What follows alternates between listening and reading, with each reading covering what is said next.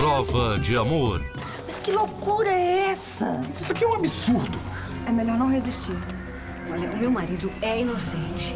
Dona Joana, quem vai decidir isso é o tribunal do júri. As acusações de Adelaide deixam Felipe a um passo da prisão. Vão prender você, pai, vão? Isso é uma arbitrariedade contra o inocente, viu? Tô acreditando que logo eu vou ser acusado de um crime que eu não cometi. Nesta segunda, prova de amor.